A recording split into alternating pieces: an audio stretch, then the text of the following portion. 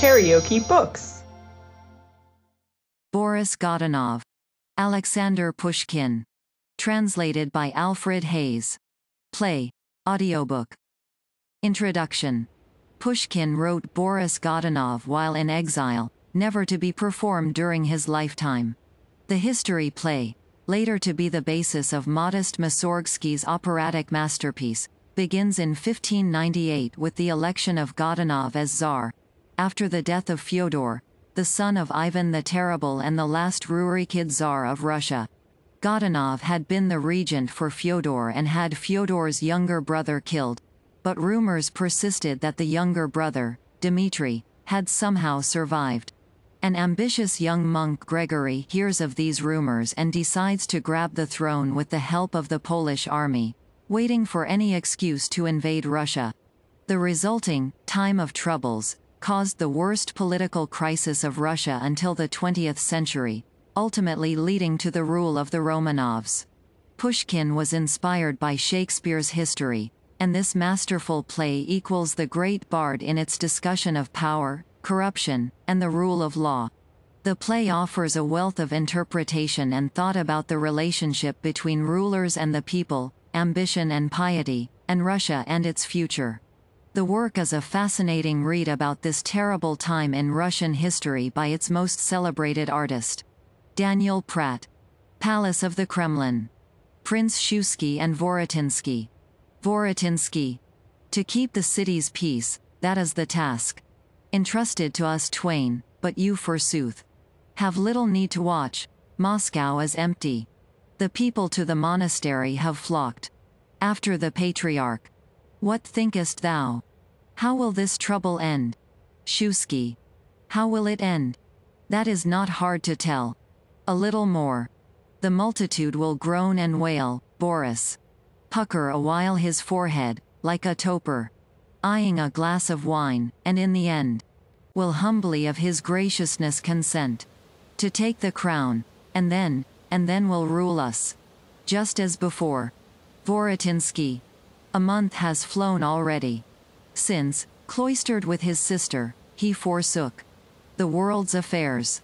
None hitherto hath shaken his purpose, not the patriarch, not the boyars. His counselors, their tears, their prayers he heeds not. Deaf as he to the wail of Moscow, deaf. To the great council's voice, vainly they urged. The sorrowful nun queen to consecrate. Boris to sovereignty, firm was his sister. Inexorable as he, methinks Boris. Inspired her with this spirit. What if our ruler be sick in very deed of cares of state? and hath no strength to mount the throne? What? Sayst thou? Shuisky. I say that in that case the blood in vain flowed of the young Tsarevich, that Dmitri might just as well be living. Vorotinsky. Fearful crime. Is it beyond all doubt Boris contrived? The young boy's murder? Izoblicit Socritigo Zolodia. Shuisky. Who besides? Who else? bribed Chepchugov in vain? Who sent in secret? The brothers Bityagovsky with Kachalov? Myself was sent to Uglich, there to probe. This matter on the spot. Fresh traces there. I found. The whole town bore witness to the crime. With one accord the burghers all affirmed it. And with a single word, when I returned. I could have proved the secret villain's guilt. Vorotinsky, why didst thou then not crush him? Shuisky. At the time. I do confess, his unexpected calmness. His shamelessness, dismayed me. Honestly. He looked me in the eyes, he questioned me. Closely, and I repeated to his face. The foolish tale himself had whispered to me. Vorotinsky. An ugly business, prince. Shuisky. What could I do? Declare all to Fyodor? But the Tsar saw all things with the eyes of Godunov, heard all things with the ears of Godunov. Grant even that I might have fully proved it. Boris would have denied it there and then. And I should have been haled away to prison. And in good time, like mine own uncle, strangled. Within the silence of some deaf-walled dungeon. I boast not when I say that, given occasion. No penalty affrights me. I am no coward. But also am no fool, and do not choose. Of my free will to walk into a halter. Vorotinsky. Monstrous misdeed. Listen, I warrant you. Remorse already gnaws the murderer. Be sure the blood of that same innocent child will hinder him from mounting to the throne. Shuisky. That will not balk him. Boris is not so timid. What honor for ourselves, I, for all Russia. A slave of yesterday, a Tartar, son. By marriage of Maliuta, of a hangman. Himself in soul a hangman, he to wear. The crown and robe of Monomac. Vorotinsky. You are right. He is of lowly birth, we twain can boast. A nobler lineage. Shuisky. Indeed we may. Vorotinsky. Let us remember, Shuisky, Vorotinsky. Are, let me say, born princes. Shuisky. Yea, born princes. And of the blood of Rurik. Vorotinsky. Listen, prince. Then we, twould seem, should have the right to mount. Fyodor's throne. Shuisky. Rather than Godunov. Vorotinsky. In very truth, twould seem so. Shuisky. And what then? If still Boris pursue his crafty ways. Let us contrive by skillful means to rouse the people. Let them turn from Godunov. Princes they have in plenty of their own. Let them from out their number choose a czar. Vorotinsky. Of us, Varyags in blood, there are full many. But 'tis no easy thing for us to vie. With Godunov, the people are not wont to recognize in us an ancient branch of their old warlike masters, long already. Have we our appanages forfeited? Long served but as lieutenants of the czars. And he hath known, by fear, and love, and glory, how to bewitch the people. Shuisky. Looking through a window. He has dared. That's all, while we, enough of this. Thou seest. Dispersedly the people are returning. We'll go forthwith and learn what is resolved.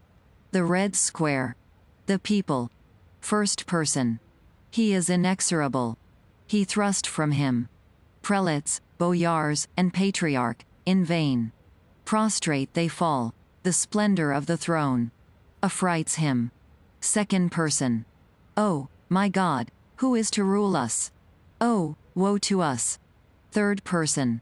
See. The chief minister. Is coming out to tell us what the council has now resolved. The people. Silence. Silence. He speaks. The Minister of State. Hush, hush. Give ear. Shelkalov. From the red balcony. The council have resolved for the last time. To put to proof the power of supplication. Upon our ruler's mournful soul. At dawn. After a solemn service in the Kremlin.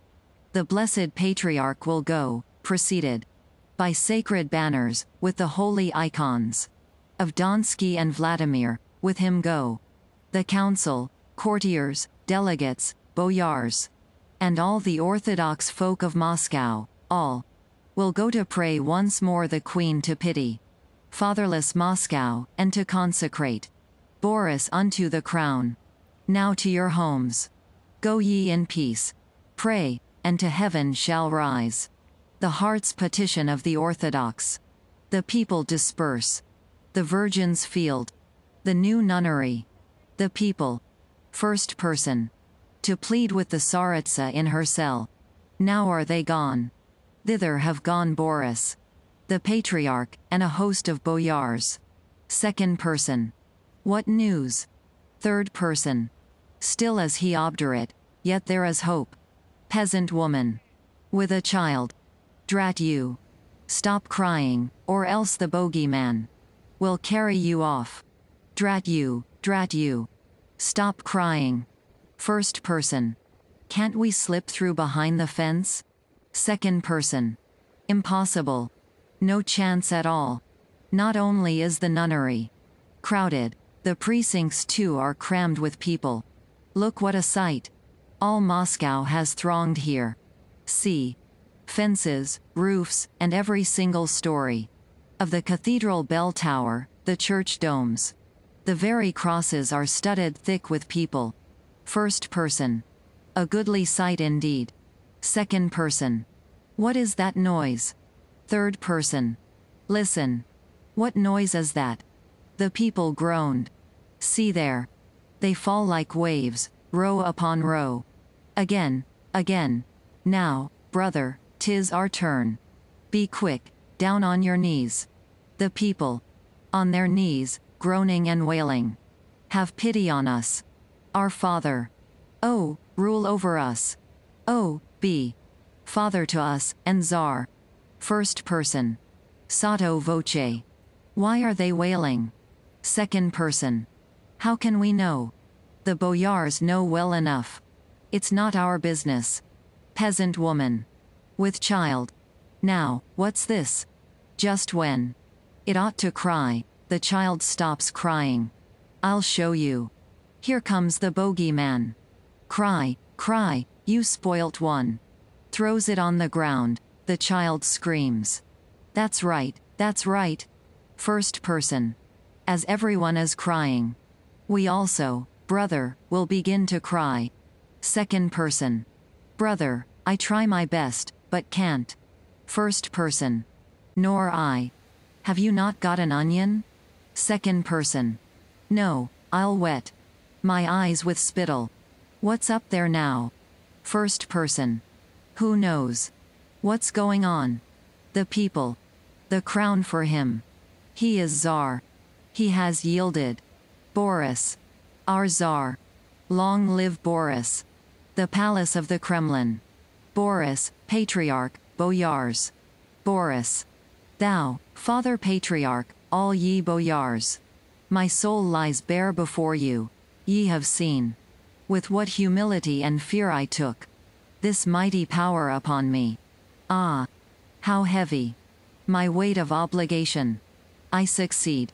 The great Ivans, succeed the angel Tsar. Dash. O righteous Father, King of kings, look down from heaven upon the tears of thy true servants. And send on him whom thou hast loved, whom thou exalted hast on earth so wondrously. Thy holy blessing. May I rule my people, in glory, and like thee be good and righteous. To you, boyars, I look for help. Serve me. As ye served him, what time I shared your labors. Ere I was chosen by the people's will. Boyars. We will not from our plighted oath depart. Boris. Now let us go to kneel before the tombs. Of Russia's great departed rulers. Then. Bid summon all our people to a feast. All, from the noble to the poor blind beggar. To all free entrance, all most welcome guests. Exit, the boyars following. Prince Vorotinsky. Stopping Shuisky. You rightly guessed. Shuisky. Guessed what? Vorotinsky. Why, you remember. The other day, here on this very spot. Shuisky. No, I remember nothing. Vorotinsky. When the people, flocked to the Virgin's field, thou sawest. Shuisky. Tis not. The time for recollection. There are times. When I should counsel you not to remember. But even to forget. And for the rest. I sought but by feigned calumny to prove thee. The trulier to discern thy secret thoughts. But see. The people hail the Tsar, my absence. May be remarked. I'll join them. Vorotinsky. Wily courtier. Knight. Cell in the monastery of Chudov, A.D. 1603. Father Pamen, Gregory, sleeping. Pamen. Writing in front of a sacred lamp. One more, the final record, and my annals. Are ended, and fulfilled the duty laid. By God on me a sinner.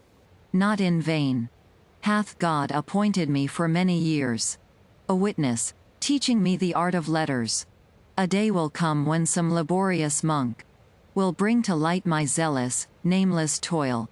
Kindle, as I, his lamp, and from the parchment, shaking the dust of ages will transcribe My true narrations, that posterity. The bygone fortunes of the Orthodox. Of their own land may learn, will mention make. Of their great czars, their labors, glory, goodness. And humbly for their sins, their evil deeds. Implore the Saviour's mercy. In old age. I live anew, the past unrolls before me. Dash. Did it in years long vanished sweep along? Full of events, and troubled like the deep? Now it is hushed and tranquil. Few the faces. Which memory hath saved for me, and few. The words which have come down to me, the rest. Have perished, never to return. But day draws near, the lamp burns low, one record more. The last. He writes. Gregory. Waking. Ever the self-same dream. Is tea possible? For the third time. Accursed dream. And ever. Before the lamp sits the old man and writes. And not all night, twould seem, from drowsiness. Hath closed his eyes. I love the peaceful sight.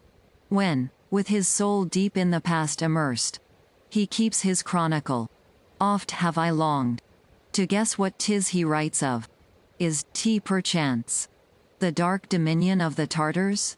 Is it Ivan's grim punishments, the stormy council of Novgorod? Is it about the glory of our dear fatherland? I ask in vain. Not on his lofty brow, nor in his looks. May one peruse his secret thoughts, always. The same aspect, lowly at once, and lofty. Like some state minister grown grey in office. Calmly alike he contemplates the just and guilty, with indifference he hears. Evil and good, and knows not wrath nor pity. Pamen. Whackest thou, brother? Gregory. Honored Father, give me thy blessing. Pamen. May God bless thee on this day. Tomorrow, and forever. Gregory. All night long. Thou hast been writing and abstained from sleep. While demon visions have disturbed my peace. The fiend molested me. I dreamed I scaled. By winding stairs a turret, from whose height Moscow appeared an anthill, where the people seethed in the squares below and pointed at me. With laughter. Shame and terror came upon me. And falling headlong, I awoke. Three times. I dreamed the self-same dream. Is it not strange? Pamen. Tis the young blood at play, humble thyself.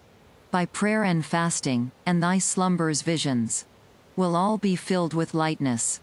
Hitherto, if I, unwillingly by drowsiness, weakened, make not at night long orisons.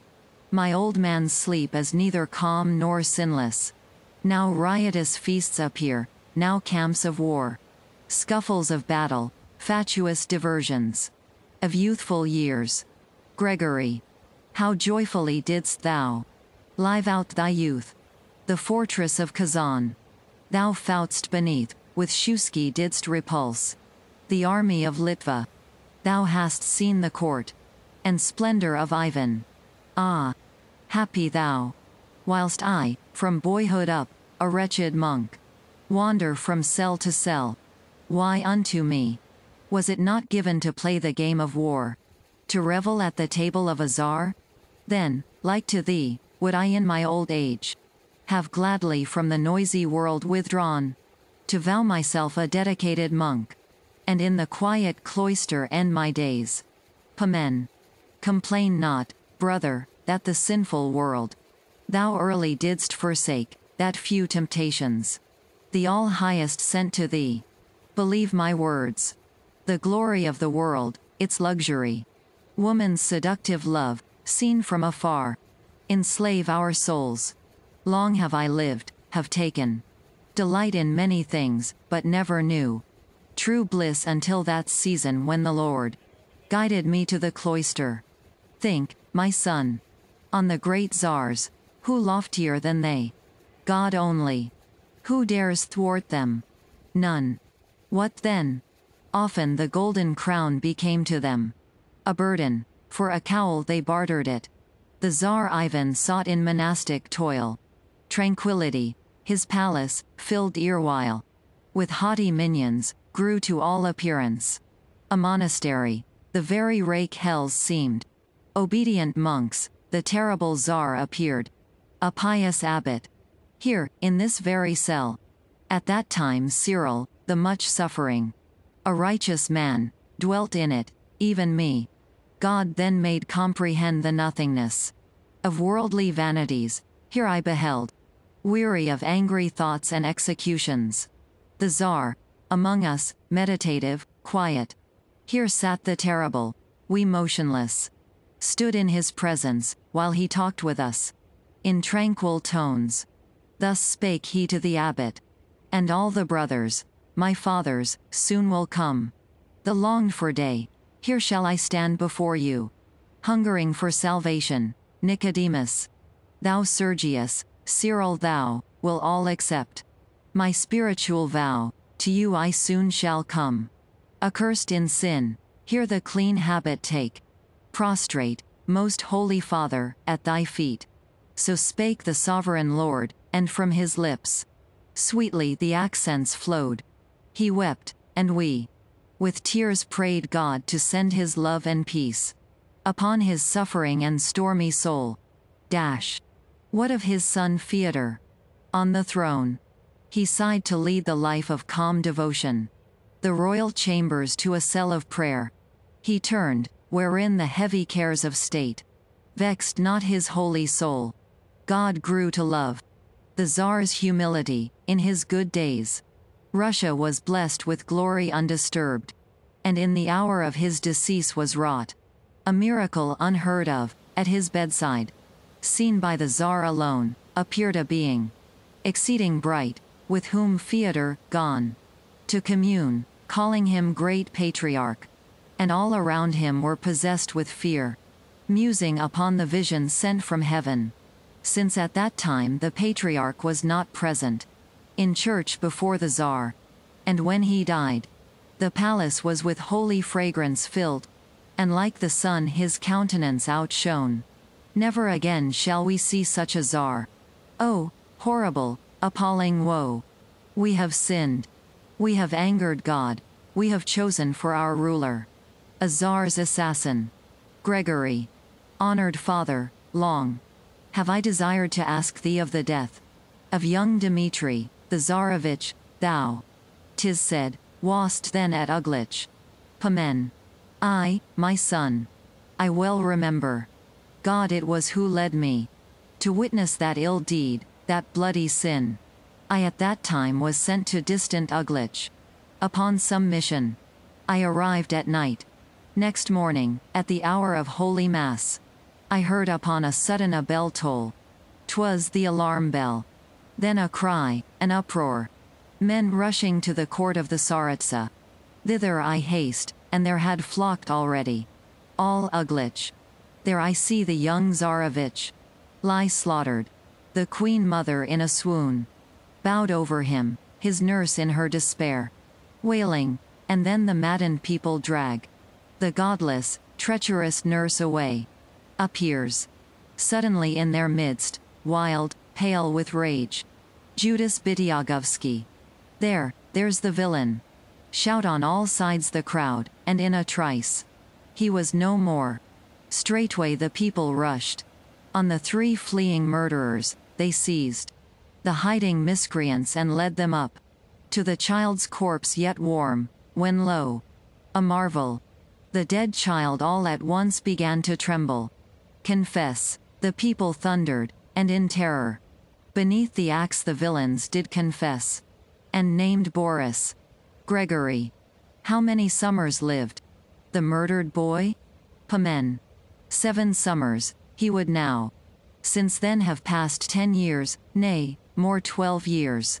He would have been of equal age to thee. And would have reigned, but God deemed otherwise. This is the lamentable tale wherewith my chronicle doth end, since then I little have dipped in worldly business. Brother Gregory, thou hast illumed thy mind by earnest study. To thee I hand my task in hours exempt. From the soul's exercise, do thou record. Not subtly reasoning, all things whereto. Thou shalt in life be witness, war and peace. The sway of kings, the holy miracles. Of saints, all prophecies and heavenly signs. For me 'tis time to rest and quench my lamp. But hark! The matin bell.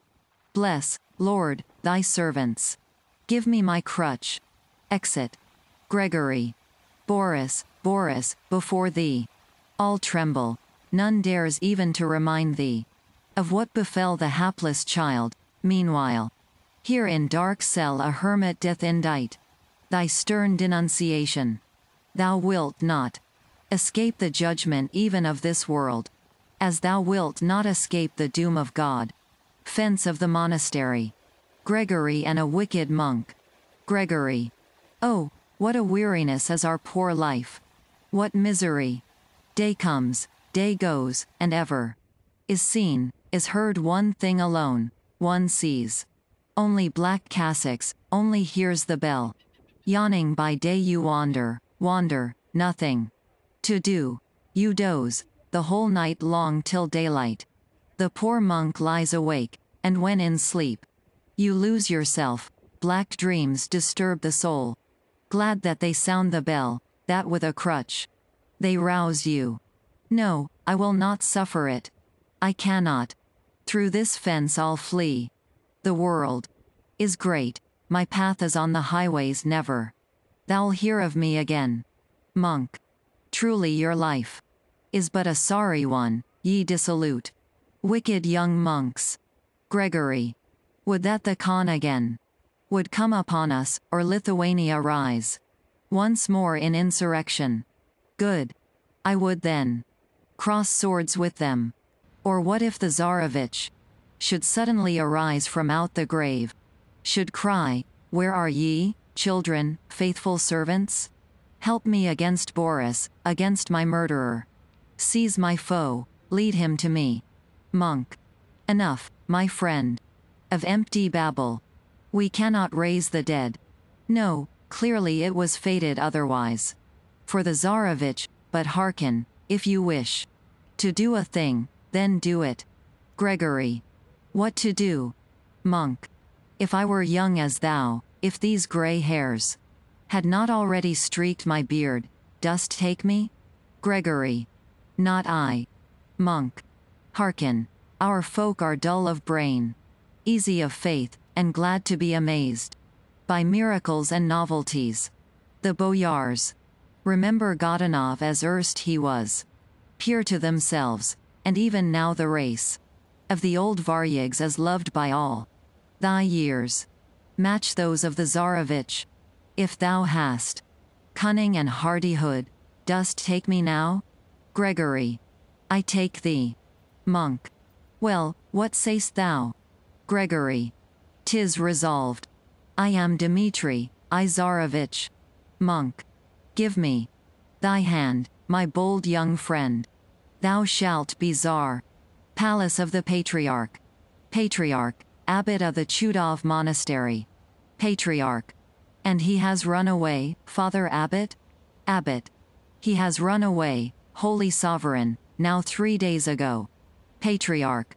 Accursed rascal. What is his origin? Abbot. Of the family of the Otrepievs, of the lower nobility. Of Galicia. In his youth he took the tonsure, no one knows where, lived at Suzdal, in the Efimievsky monastery, departed from there, wandered to various convents, finally arrived at my Chudov fraternity. But I, seeing that he was still young and inexperienced, entrusted him at the outset to Father Pamen, an old man, kind and humble. And he was very learned, read our chronicle, composed canons for the holy brethren, but, to be sure, instruction was not given to him from the Lord God, Patriarch. Ah, those learned fellows. What a thing to say, I shall be czar in Moscow. Ah, he is a vessel of the devil.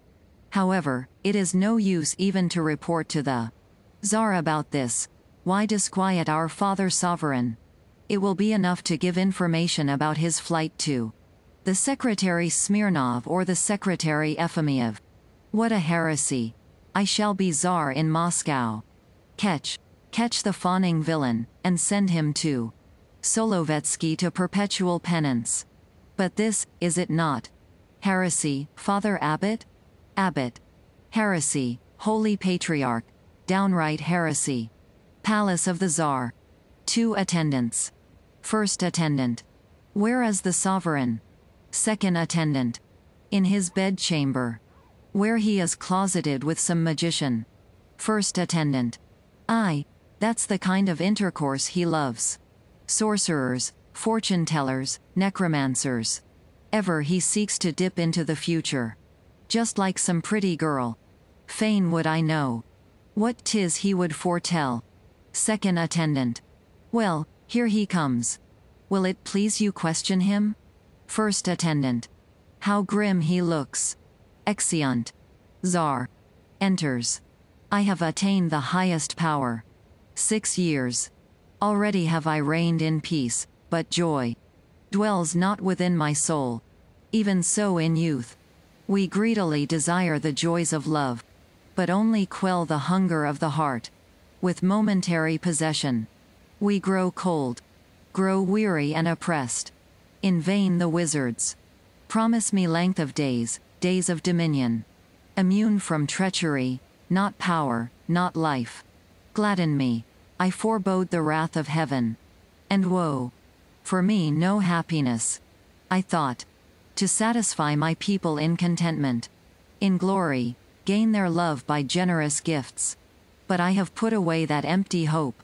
The power that lives is hateful to the mob. Only the dead they love. We are but fools. When our heart vibrates to the people's groans and passionate wailing. Lately on our land, God sent a famine, perishing in torments. The people uttered moan. The granaries. I made them free of, scattered gold among them. Found labor for them, furious for my pains. They cursed me. Next, a fire consumed their homes. I built for them new dwellings, then forsooth. They blamed me for the fire. Such is the mob. Such is its judgment. Seek its love, indeed. I thought within my family to find solace. I thought to make my daughter happy. By wedlock. Like a tempest death took off. Her bridegroom, and at once a stealthy rumor, pronounced me guilty of my daughter's grief. Me, me, the hapless father. Whoso dies. I am the secret murderer of all. I hastened Fyodor's end, 'twas I that poisoned. My sister queen, the lowly nun, all I. Ah. Now I feel it. Naught can give us peace. Mid-worldly cares, nothing save only conscience. Healthy she triumphs over wickedness. Over dark slander, but if in her be found a single casual stain, then misery. With what a deadly sore my soul doth smart. My heart, with venom filled, doth like a hammer. Beat in mine ears reproach. All things revolt me. And my head whirls, and in my eyes are children. Dripping with blood, and gladly would I flee. But nowhere can find refuge, horrible. Pitiful he whose conscience is unclean. Tavern on the Lithuanian frontier. Misael and Varlam, wandering friars, Gregory in secular attire, hostess. Hostess. With what shall I regale you, my reverend? Honored guests? Varlam. With what God sends, little hostess. Have you? No wine? Hostess. As if I had not, my father's. I will bring it at once. Exit. Misael. Why so glum, comrade? Here is that very Lithuanian frontier which you so wish to reach. Gregory. Until I shall be in Lithuania, till then I shall not. Be content. Varlam. What is it that makes you so fond of Lithuania? Here are we, Father Misael and I, a sinner, when we fled. From the monastery, then we cared for nothing. Was it Lithuania, was it Russia, was it fiddle, was it dulcimer? All the same for us, if only there was wine. That's the main thing. Misael. Well said, Father Varlam. Hostess. Enters. There you are, my fathers. Drink to your health. Misael. Thanks, my good friend. God bless thee. Thee. Monks drink. Varlam trolls a ditty. Thou passest. By, my dear, etc. To Gregory. Why don't you join? In the song? Not even join in the song? Gregory. I don't wish to. Misael. Everyone to his liking. Varlam. But a tipsy man's in heaven. Father Misael. We will drink a glass to our hostess. Sings. Where? The brave lad endurance, etc. Still, Father Misael. When I am drinking, then I don't like sober men, tipsiness. Is one thing, but pride quite another. If you want to live as we do, you are welcome. No? Then take yourself off, away with you. A mountebank is no companion for a priest. Gregory. Drink, and keep your thoughts to yourself. Father Varlam. You see, I too sometimes know how to make puns. Varlam. But why should I keep my thoughts to myself? Misael. Let him alone, Father Varlam. Varlam. But what sort of a fasting man is he? Of his own accord, he attached himself as a companion to us. No one knows who he is, no one knows whence he comes. And yet he gives himself grand airs, perhaps he has a close acquaintance with the pillory. Drinks and sings. A young monk took the tonsure, etc. Gregory. To hostess. Whither leads this road? Hostess. To Lithuania, my dear, to the Luyov Mountains. Gregory. And is it far to the Luyov Mountains? Hostess. Not far, you might get there by evening, but for the Tsar's frontier barriers, and the captains of the guard. Gregory. What say you? Barriers. What means this? Hostess. Someone has escaped from Moscow, and orders have been given to detain and search everyone. Gregory. Aside. Here's a pretty mess. Varlam. Hello, comrade.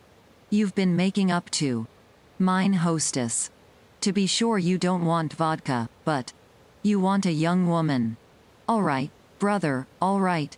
Everyone has his own ways, and Father Misael and I have only one thing which we care for. We drink to the bottom, we drink. Turn it upside down, and knock at the bottom. Misael. Well said, Father Varlam. Gregory. To hostess. Whom do they want? Who? Escaped from Moscow? Hostess. God knows. A thief perhaps, a robber. But here. Even good folk are worried now. And what will come of it? Nothing. They will not catch the old devil, as if. There were no other road into Lithuania than the highway. Just turn to the left from here, then by the pinewood. Or by the footpath as far as the chapel on the Chikansky Brook, and then straight across the marsh to Klopin, and thence to Zakhariev, and then any child will guide you to the Luyov Mountains. The only good of these inspectors is to worry passers-by and rob us poor folk. A noise is heard, What's that? Ah, there. They are, curse them. They are going their rounds. Gregory. Hostess.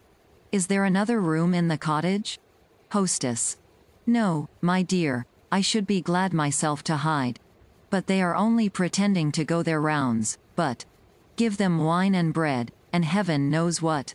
May perdition take them, the accursed ones. May. Enter officers. Officers. Good health to you, mine hostess. Hostess. You are kindly welcome, dear guests. An officer. To another. Ha, there's drinking going on. Here, we shall get something here. To the monks. Who are you? Varlam. We are two old clerics, humble monks. We are going from village to village and collecting Christian alms for the monastery. Officer. To Gregory. And thou? Misael. Our comrade. Gregory. A layman from the suburb. I have conducted the Old men as far as the frontier.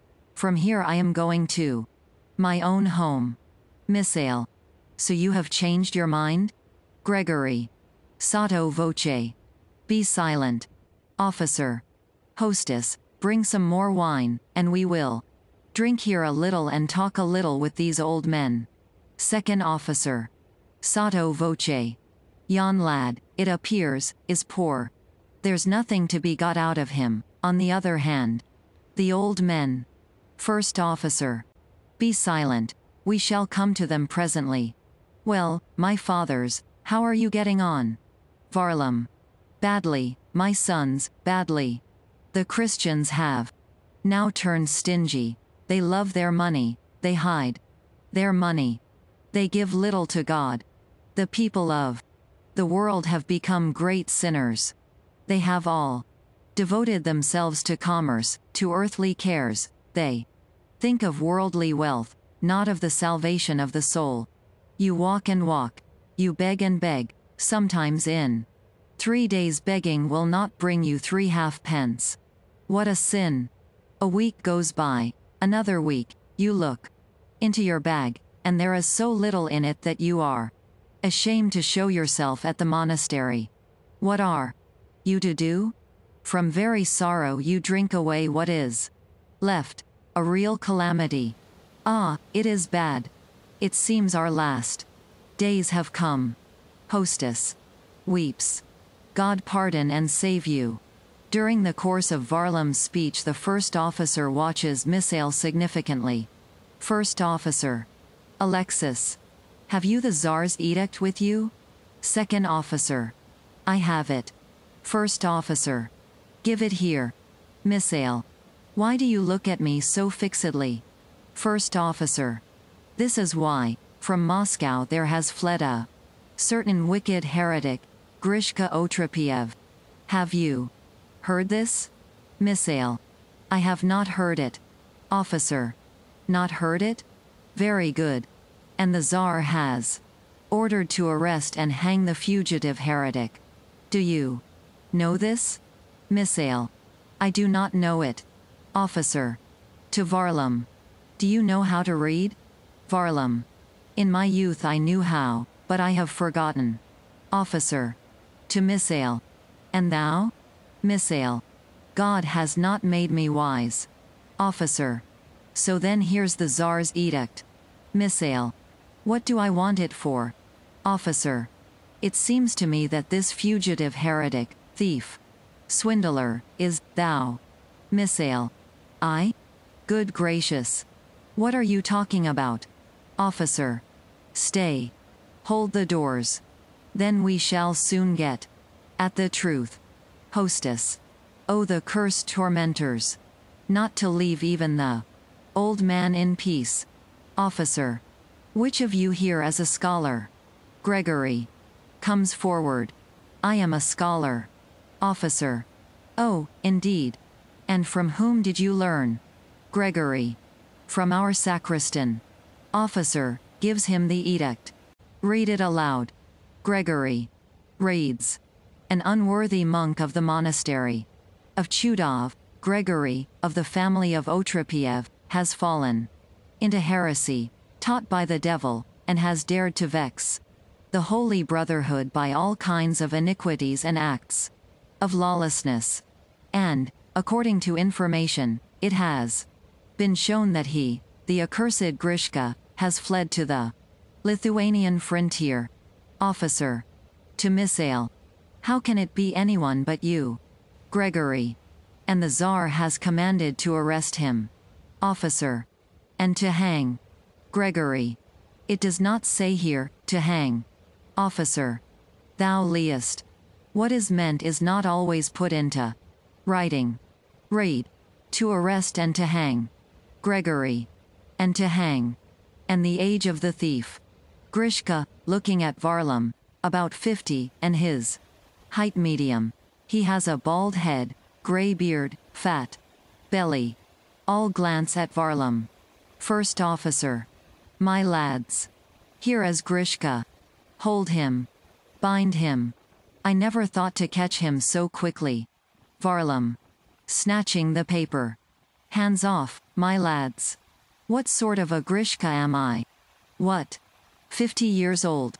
Grey beard, fat belly. No, brother. You're too young. To play off tricks on me. I have not read for a long time.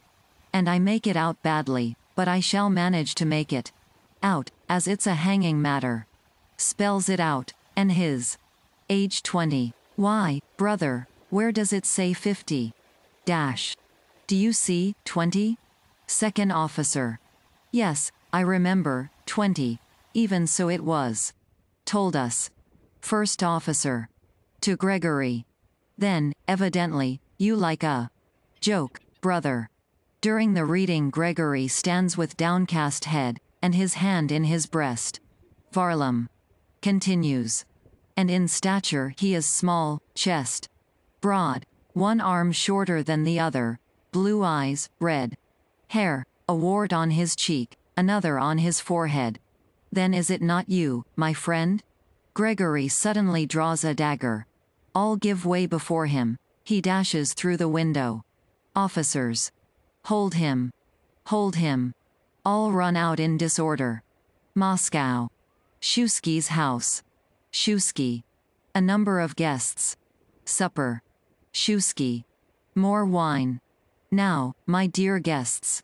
He rises. All rise after him. The final draft. Read the prayer, boy. Boy. Lord of the heavens, who art eternally and everywhere, except the prayer of us thy servants. For our monarch. By thee appointed, for our pious czar. Of all good Christians autocrat, we pray. Preserve him in the palace, on the field of battle, on his nightly couch. Grant to him victory o'er his foes, from sea to sea. May he be glorified, may all his house blossom with health, and may its precious branches o'ershadow all the earth, to us, his slaves.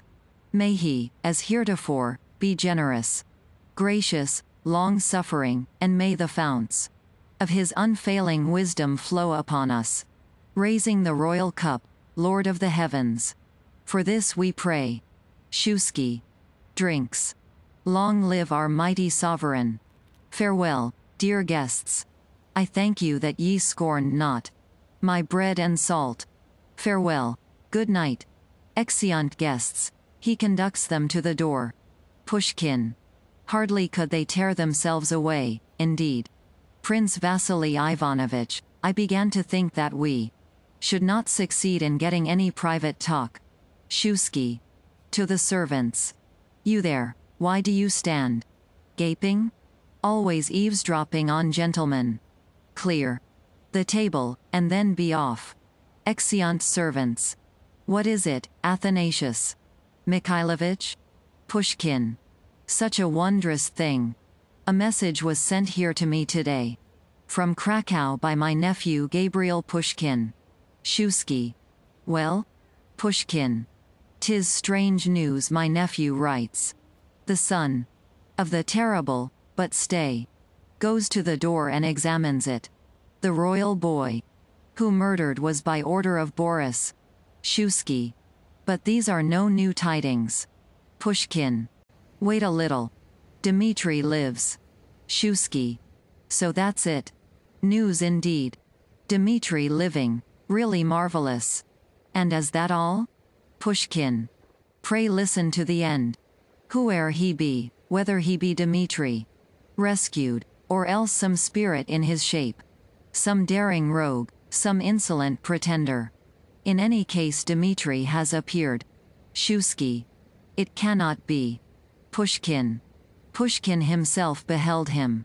When first he reached the court, and through the ranks of Lithuanian gentlemen went straight into the secret chamber of the king. Shuisky. What kind of man? Whence comes he? Pushkin. No one knows. Tis known that he was Vishnevetsky's servant. That to a ghostly father on a bed of sickness he disclosed himself, possessed of this strange secret, his proud master nursed him. From his sick bed upraised him, and straightway took him to Sigismund. Shuisky. And what say men? Of this bold fellow? Pushkin. Tis said that he is wise. Affable, cunning, popular with all men.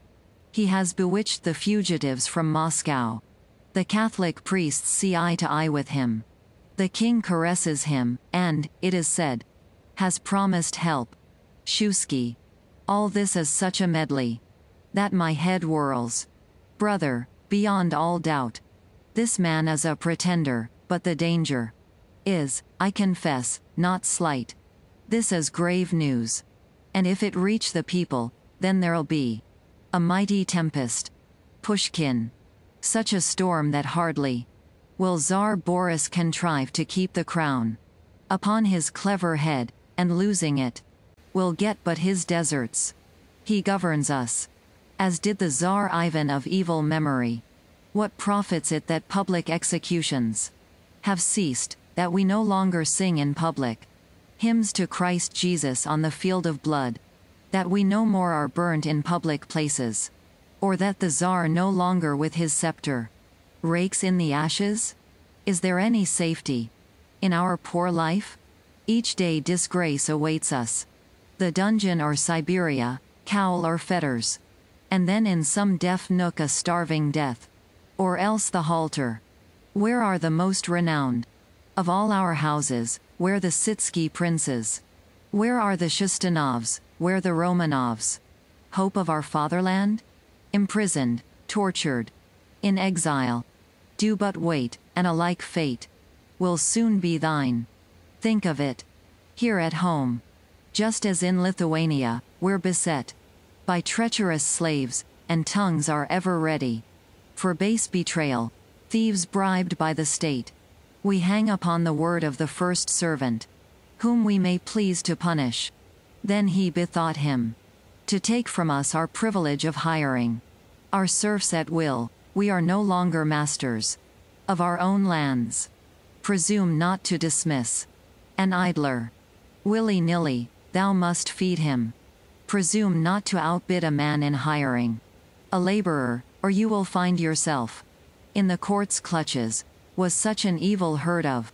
Even under Tsar Ivan? And are the people the better off? Ask them. Let the pretender. But promise them the old free right of transfer. Then there'll be sport. Shuisky. Thou'rt right, but be advised. Of this, of all things, for a time we'll speak. No word. Pushkin. Assuredly. Keep thine own counsel. Thou art a person of discretion, always. I am glad to commune with thee, and if aught at any time disturbs me, I endure not to keep it from thee, and, truth to tell, thy mead and velvet ale today have so untied my tongue. Farewell then, Prince. Shuisky. Brother, farewell. Farewell, my brother, till we meet again. He escorts Pushkin out. Palace of the Tsar. The Tsarevich is drawing a map. The Tsarevna. The nurse of the Tsarevna. Xenia. Kisses a portrait. My dear bridegroom, comely. Son of a king, not to me wast thou given, not to thy affianced bride, but to a dark sepulchre in a strange land. Never shall I take comfort, ever shall I weep for thee. Nurse. A. Tsarevna. A maiden weeps as the dew falls. The sun will rise, will dry the dew. Thou wilt have another bridegroom, and handsome and affable. My charming child, thou wilt learn to love him, thou wilt forget Ivan the king's son. Xenia. Nay, nurse, I will be true to him even in death. Boris enters. Tsar. What, Xenia? What, my sweet one? In thy girlhood. Already a woe-stricken widow, ever. Bewailing thy dead bridegroom. Fate forbade me. To be the author of thy bliss. Perchance. I angered heaven, it was not mine to compass. Thy happiness. Innocent one, for what? Art thou a sufferer? And thou, my son? With what art thou employed? What's this? Fyodor.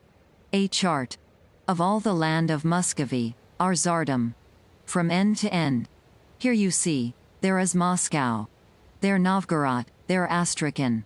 Here lies the sea, here the dense forest tract of Perm. And here Siberia.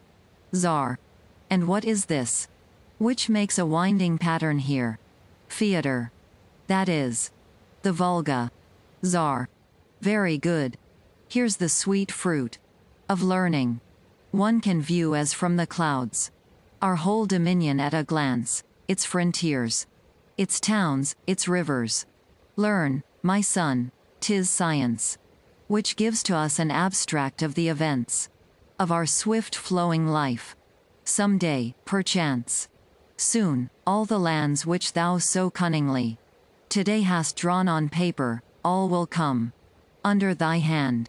Learn, therefore, and more smoothly. More clearly wilt thou take, my son, upon thee the cares of state. Simeon Godunov enters. But there comes Godunov, bringing reports to me. To Xenia, go to thy chamber. Dearest, farewell, my child, God comfort thee. Exeunt Xenia and nurse. What news hast thou for me, Semyon Nikitich? Semyon G. Today at dawn the butler of Prince Shuisky.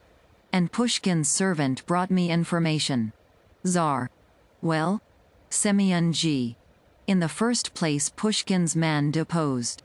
That yestermorn came to his house from Krakow. A courier, who within an hour was sent. Without a letter back. Tsar. Arrest the courier. Semyon G. Some are already sent to overtake him. Tsar. And what of Shuisky? Semyon G. Last night he entertained his friends, the Buturlins, both Miloslavskis, and Saltykov, with Pushkin and some others. They parted late. Pushkin alone remained, closeted with his host and talked with him. A long time more. Tsar. For Shuisky send forthwith.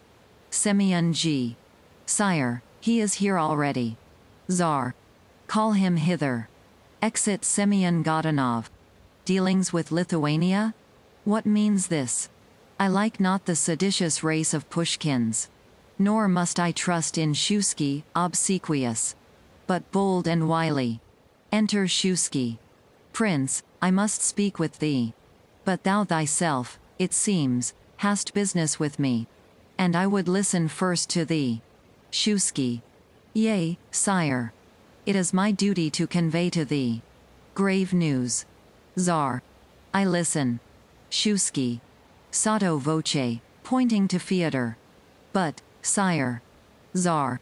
The Tsarevich. May learn whate'er Prince Shuisky knoweth. Speak. Shuisky. My liege, from Lithuania there have come. Tidings to us. Czar. Are they not those same tidings? Which yestereve a courier bore to Pushkin. Shuisky. Nothing is hidden from him. Sire, I thought. Thou knewst not yet this secret. Tsar. Let not that trouble thee, prince. I fain would scrutinize thy information. Else we shall not learn the actual truth. Shuisky. I know this only, sire. In Krakow a pretender hath appeared. The king and nobles back him. Tsar. What say they? And who is this pretender? Shuisky. I know not. Tsar. But wherein is he dangerous? Shuisky. Verily. Thy state, my liege, is firm, by graciousness. Zeal, bounty, thou hast won the filial love. Of all thy slaves, but thou thyself dost know. The mob is thoughtless, changeable, rebellious. Credulous, lightly given to vain hope. Obedient to each momentary impulse. To truth deaf and indifferent, it feedeth. On fables, shameless boldness pleaseth it. So, if this unknown vagabond should cross the Lithuanian border, Dmitri's name, raised from the grave will gain him a whole crowd of fools. Tsar. Dmitri's? What? That child's? Dmitri's? Withdraw, Tsarevich. Shuisky. He flushed, there'll be a storm. Fyodor. Suffer me, sire. Tsar. Impossible, my son. Go, go. Exit Fyodor. Dmitri's name. Shuisky. Then he knew nothing. Tsar. Listen. Take steps this very hour that Russia be fenced by barriers from Lithuania. That not a single soul pass o'er the border. That not a hair run o'er to us from Poland. Nor crow fly here from Krakow. Away. Shuisky. I go. Tsar. Stay. Is it not a fact that this report is artfully concocted? Hast ever heard that dead men have arisen from their graves to question czars, legitimate czars, appointed, chosen by the voice of all the people, crowned by the great patriarch? Is it not laughable? Eh? What? Why lockst thou not thereat? Shuisky. I, sire? Tsar. Hark, Prince Vasily, when first I learned this child had been. This child had somehow lost its life. 'Twas thou I sent to search the matter out. Now by the cross and God I do adjure thee. Declare to me the truth upon thy conscience.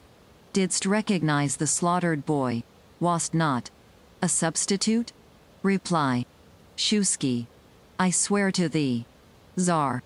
Nay, Shuisky, swear not, but reply, was it indeed Dmitri? Shuisky. He. Tsar. Consider, Prince. I promise clemency, I will not punish. With vain disgrace a lie that's past. But if thou now beguile me, then by my son's head, I swear, an evil fate shall overtake thee. Requital such that Tsar Ivan Vasilievich shall shudder in his grave with horror of it. Shuisky. In punishment no terror lies, the terror doth lie in thy disfavor, in thy presence. Dare I use cunning? Could I deceive myself? So blindly as not recognize Dmitri? Three days in the cathedral did I visit. His corpse, escorted thither by all Uglich. Around him thirteen bodies lay of those slain by the people, and on them corruption already had set in perceptibly. But lo, the childish face of the Tsarevich was bright and fresh and quiet as if asleep. The deep gash had congealed not, nor the lines of his face even altered. No, my liege. There is no doubt. Dmitri sleeps in the grave. Tsar. Enough, withdraw. Exit Shuisky.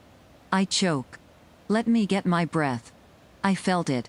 All my blood surged to my face. And heavily fell back. So that is why. For thirteen years together I have dreamed. Ever about the murdered child. Yes, yes. Tis that. Now I perceive. But who is he? My terrible antagonist? Who is it? Opposeth me? An empty name, a shadow. Can it be a shade shall tear from me the purple? A sound deprive my children of succession? Fool that I was. Of what was I afraid? Blow on this phantom. And it is no more. So, I am fast resolved. I'll show no sign of fear, but nothing must be held in scorn. Ah! Heavy art thou, crown of Monomach. Krakow. House of Vishnevetsky. The pretender and a Catholic priest. Pretender. Nay, father, there will be no trouble. I know. The spirit of my people, piety, does not run wild in them, their czar's example. To them as sacred. Furthermore, the people are always tolerant. I warrant you.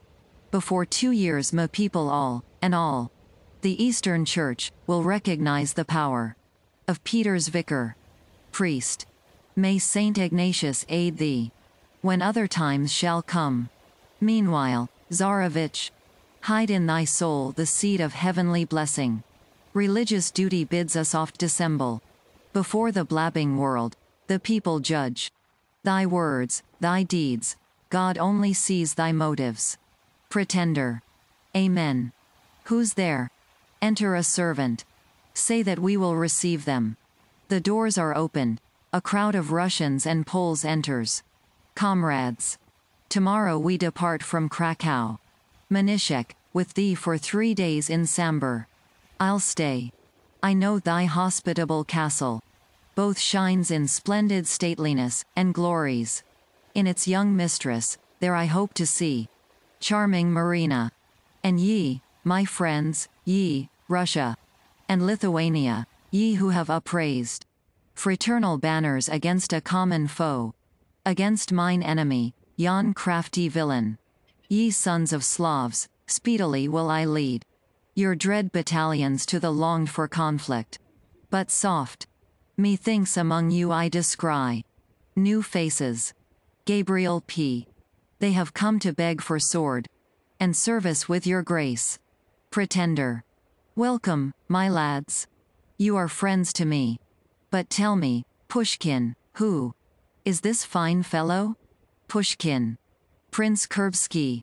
Pretender. To Kurbsky. A famous name. Art kinsman to the hero of Kazan?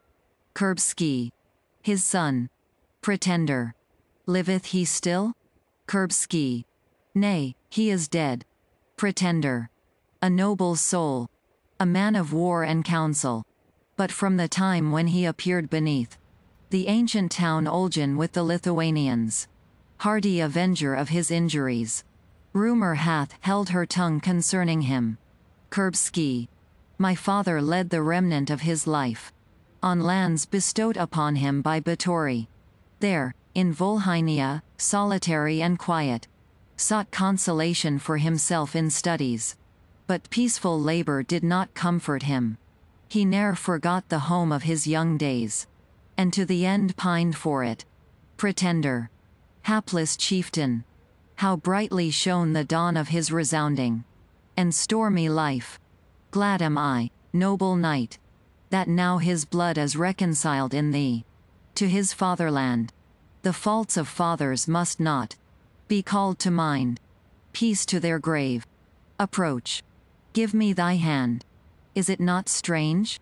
The son, of Kurbsky to the throne as leading, whom? Whom but Ivan's own son?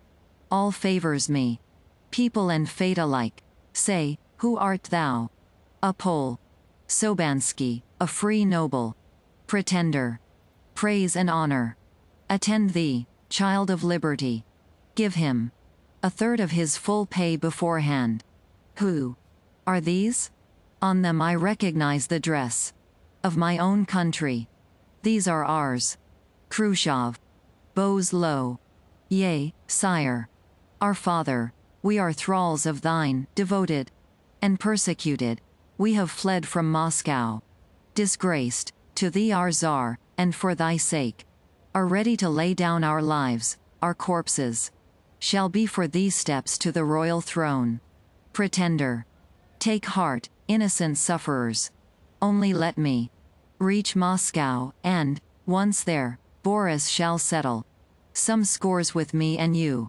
What news of Moscow? Khrushchev. As yet all there is quiet. But already. The folk have got to know that the Tsarevich was saved. Already everywhere as read. Thy proclamation. All are waiting for thee. Not long ago Boris sent two boyars to execution merely because in secret they drank thy health. Pretender. O hapless, good boyars. But blood for blood. And woe to Godunov. What do they say of him? Khrushchev. He has withdrawn. Into his gloomy palace. He is grim. And somber. Executions loom ahead. But sickness gnaws him. Hardly hath he strength. To drag himself along, and, it is thought, his last hour is already not far off. Pretender. A speedy death I wish him, as becomes. A great souled foe to wish. If not, then woe. To the miscreant, and whom doth he intend? To name as his successor? Khrushchev. He shows not his purposes, but it would seem he destines. Fyodor, his young son, to be our czar. Pretender. His reckonings, maybe, will yet prove wrong. Who art thou? Karela. A Cossack. From the Don I am sent. To thee, from the free troops, from the brave hetman. From upper and lower regions of the Cossacks. To look upon thy bright and royal eyes. and tender thee their homage. Pretender. Well I knew. The men of Don, I doubted not to see. The Cossack hetman in my ranks. We thank. Our army of the Don. Today, we know. The Cossacks are unjustly persecuted. Oppressed. But if God grant us to ascend the throne of our forefathers, then as of yore, we'll gratify the free and faithful Don. Poet. Approaches. Bowing low, and taking Gregory by the hem of his caftan. Great prince, illustrious offspring of a king. Pretender. What wouldst thou? Poet. Condescendingly accept. This poor fruit of my earnest toil. Pretender. What see I? Verses in Latin. Blessed a hundredfold. The tie of sword and lyre, the self-same laurel, binds them in friendship. I was born beneath a northern sky, but yet the Latin muse. To me is a familiar voice, I love. The blossoms of Parnassus, I believe. The prophecies of singers. Not in vain. The ecstasy boils in their flaming breast. Action is hallowed, being glorified. Beforehand by the poets. Approach, my friend. In memory of me accept this gift. Gives him a ring. When fate fulfills for me her covenant. When I assume the crown of my forefathers. I hope again to hear the measured tones. Of thy sweet voice, and thy inspired lay. Musa gloriam coronat, gloriaque musam. And so, friends, till tomorrow, au revoir. All. Forward. Long live Dmitri. Forward, forward. Long live Dmitri, the great prince of Moscow. Castle of the governor. Manishek in Sambor. Dressing room of Marina. Marina, Ruzia, dressing her, serving women. Marina. Before a mirror. Now then, is it ready? Cannot. You make haste? Ruzia. I pray you first to make the difficult choice. Will you the necklace wear of pearls, or else? The emerald half moon? Marina. My diamond crown. Ruzia. Splendid. Do you remember that you wore it? When to the palace you were pleased to go. They say that at the ball your gracious highness shone like the sun. Men sighed, fair ladies whispered. 'Twas then that for the first time young Kotkovich beheld you, he who after shot himself. And whosoever looked on you, they say, that instant fell in love. Marina. Can't you be quicker? Ruzia. At once. Today your father counts upon you. 'Twas not for naught the young Tsarevich saw you. He could not hide his rapture. Wounded he is. Already, so it only needs to deal him. A resolute blow, and instantly, my lady. He'll be in love with you. Tis now a month. Since, quitting Krakow, heedless of the war, and throne of Moscow, he has feasted here. Your guest, enraging Poles alike and Russians. Heavens! Shall I ever live to see the day? Say, you will not, when to his capital. Dmitri leads the Queen of Moscow, say. You'll not forsake me? Marina. Dost thou truly think? I shall be queen? Ruzia. Who, if not you? Who here? Dares to compare in beauty with my mistress? The race of Manishek never yet has yielded. To any. In intellect you are beyond. All praise. Happy the suitor whom your glance honors with its regard, who wins your heart. Whoe'er he be, be he our king, the Dauphin of France, or even this our poor Tsarevich. God knows who, God knows whence. Marina. The very son. Of the Tsar, and so confessed by the whole world. Ruzia. And yet last winter he was but a servant. In the house of Vishnevetsky. Marina. He was hiding. Ruzia. I do not question it, but still do you know what people say about him? That perhaps he is a deacon run away from Moscow. In his own district a notorious rogue. Marina. What nonsense. Ruzia. Oh, I do not credit it.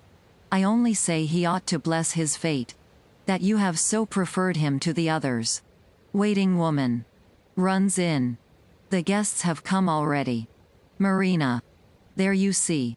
You're ready to chatter silliness till daybreak. Meanwhile I am not dressed.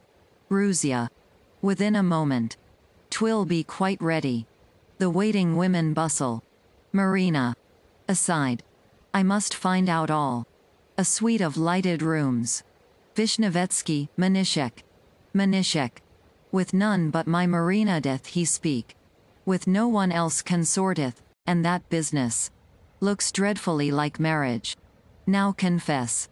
Didst ever think my daughter would be a queen? Vishnevetsky. Tis wonderful. And, Manishek, didst thou think?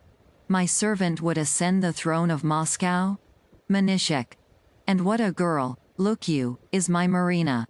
I merely hinted to her. Now, be careful. Let not Dmitri slip, and lo! Already. He is completely tangled in her toils. The band plays a polonaise. The pretender and Marina advance as the first couple. Marina. Sotto voce to Dmitri. Tomorrow evening at 11, beside. The fountain in the avenue of lime trees. They walk off. A second couple. Cavalier. What can Dmitri see in her? Dame. How say you? She is a beauty. Cavalier. Yes, a marble nymph. Eyes, lips, devoid of life, without a smile. A fresh couple. Dame. He is not handsome, but his eyes are pleasing. And one can see he is of royal birth. A fresh couple. Dame. When will the army march? Cavalier. When the Tsarevich orders it. We are ready, but tis clear. The lady Manishek and Dmitri mean. To keep us prisoners here. Dame. A pleasant durance. Cavalier. Truly, if you. They walk off. The rooms become empty. Manishek. We old ones dance no longer. The sound of music lures us not, we press not. Nor kiss the hands of charmers, ah! My friend. I've not forgotten the old pranks. Things now are not what once they were, what once they were. Youth, I'll be sworn, is not so bold, nor beauty. So lively. Everything, confess, my friend, has somehow become dull. So let us leave them. My comrade, let us go and find a flask of old Hungarian overgrown with mold. Let's bid my butler open an old bottle. And in a quiet corner, tete a tete, let's drain a draught, a stream as thick as fat. And while we're so engaged, let's think things over. Let us go, brother. Vishnevetsky. Yes, my friend, let's go. The garden. The fountain. Pretender. Enters. Here is the fountain. Hither will she come. I was not born a coward, I have seen. Death near at hand, and face to face with death. My spirit hath not blenched. A lifelong dungeon. Hath threatened me, I have been close pursued. And yet my spirit quailed not, and by boldness. I have escaped captivity. But what? Is this which now constricts my breath? What means? This overpowering tremor, or this quivering? Of tense desire? No, this is fear. All day. I have waited for this secret meeting, pondered. On all that I should say to her, how best.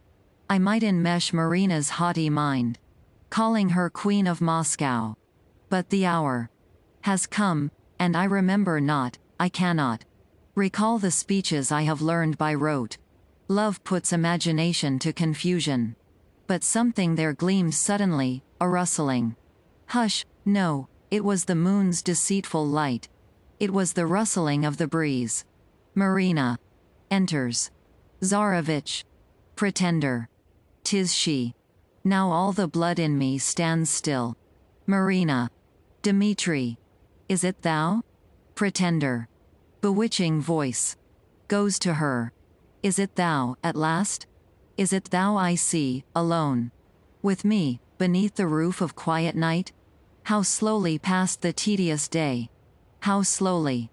The glow of evening died away. How long?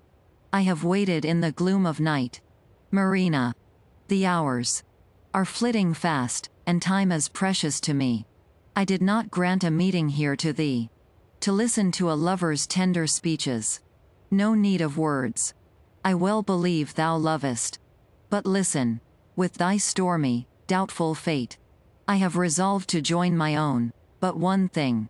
Dmitri, I require, I claim that thou disclose to me thy secret hopes, thy plans, even thy fears, that hand in hand with thee.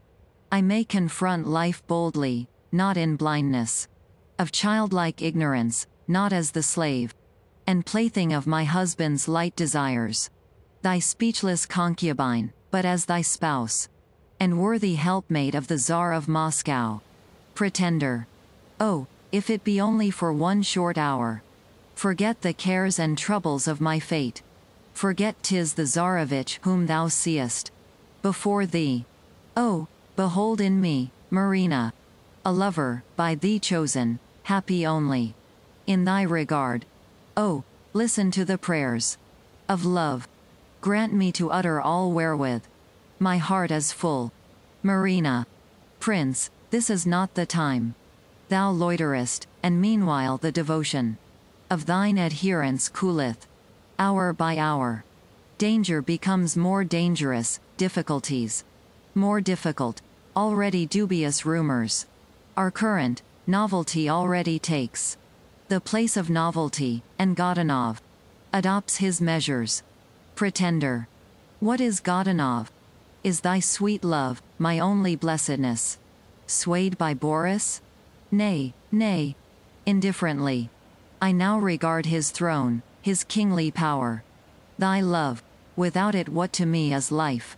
And glory's glitter, and the state of Russia? On the dull steppe, in a poor mud hut, thou, thou wilt requite me for the kingly crown. Thy love. Marina. For shame. Forget not, Prince, thy high and sacred destiny, thy dignity, should be to thee more dear than all the joys of life and its allurements. It thou canst not with anything compare. Not to a boy, insanely boiling, captured by my beauty, but to the heir of Moscow's throne give I my hand in solemn wise, to the Tsarevich, rescued by destiny. Pretender. Torture me not. Charming Marina. Say not that 'twas my rank. And not myself that thou didst choose. Marina. Thou knowest not how sorely thou dost wound my heart thereby. What if, O fearful doubt? Dash. Say, if blind destiny had not assigned me a kingly birth, if I were not indeed son of Ivan, were not this boy, so long forgotten by the world, say, then wouldst thou have loved me? Marina. Thou art Dmitri, and aught else. Thou canst not be, it is not possible.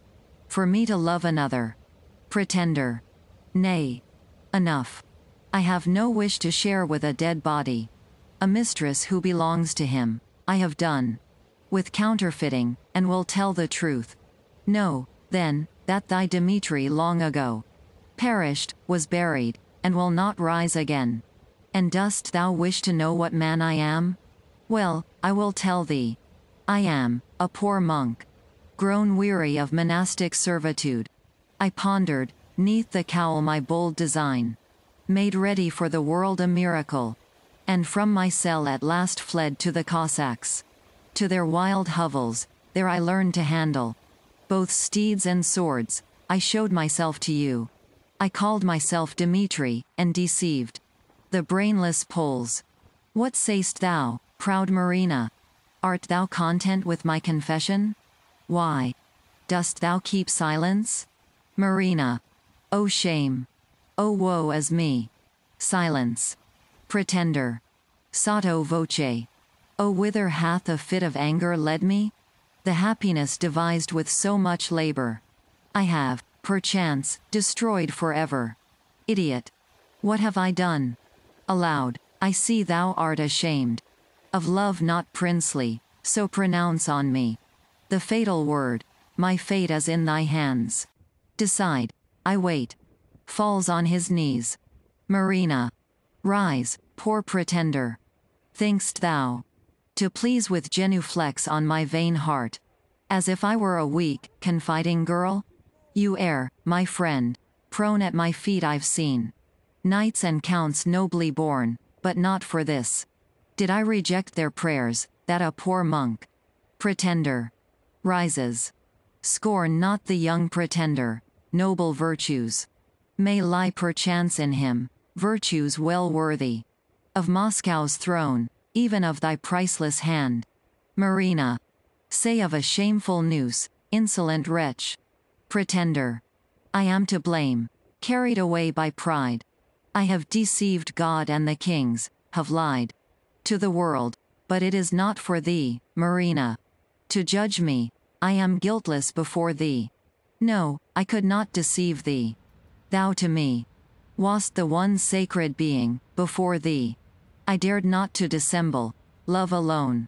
Love, jealous, blind, constrained me to tell all. Marina. What's that to boast of, idiot? Who demanded? Confession of thee? If thou, a nameless vagrant, couldst wonderfully blind two nations, then, at least thou shouldst have merited success. And thy bold fraud secured, by constant, deep, and lasting secrecy.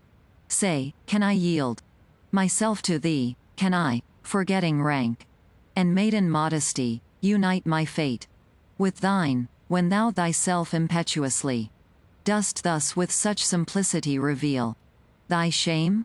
It was from love he blabbed to me. I marvel wherefore thou hast not from friendship disclosed thyself ere now before my father.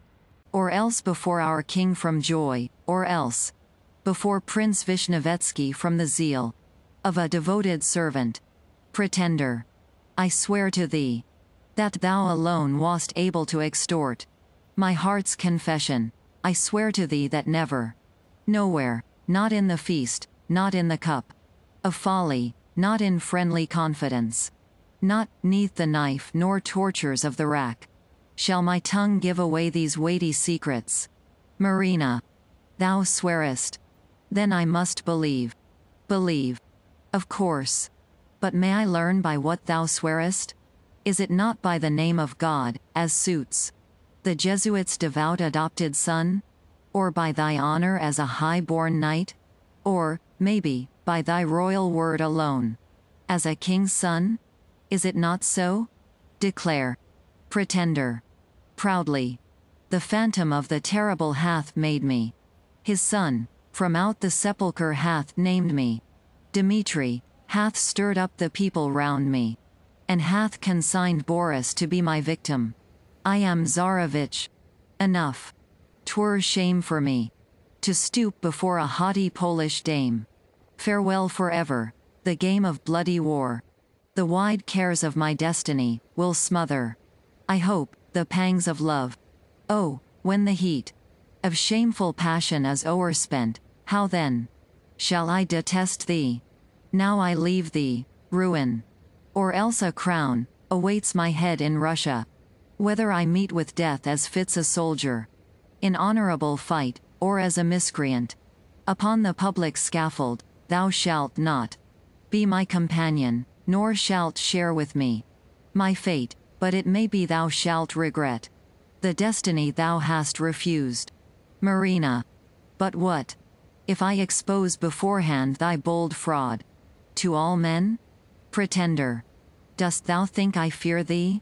Thinkst thou? They will believe a Polish maiden more than Russia's own Tsarevich? No, proud lady. That neither king, nor pope, nor nobles trouble. Whether my words be true, whether I be Dmitri or another. What care they? But I provide a pretext for revolt and war, and this is all they need, and thee, rebellious one, believe me, they will force to hold thy peace. Farewell. Marina. Tsarevich, stay. At last I hear the speech not of a boy, but of a man. It reconciles me to thee. Prince, I forget thy senseless outburst, see. Again Dmitri.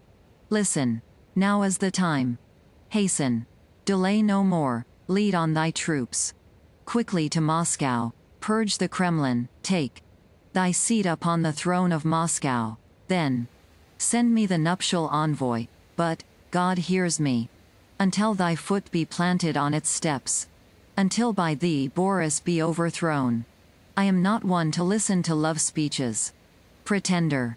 No, easier far to strive with Godunov. Or play false with the Jesuits of the court. Than with a woman.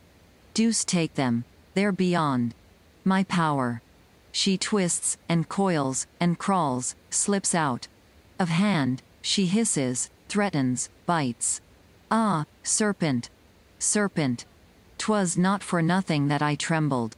She well nigh ruined me, but I'm resolved.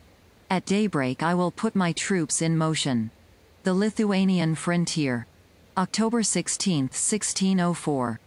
Prince Kurbsky and Pretender, both on horseback. Troops approach the frontier. Kurbsky. Galloping at their head. There, there it is, there is the Russian frontier. Fatherland. Holy Russia. I am thine. With scorn from off my clothing now I shake. The foreign dust, and greedily I drink. New air, it is my native air. O Father. Thy soul hath now been solaced, in the grave.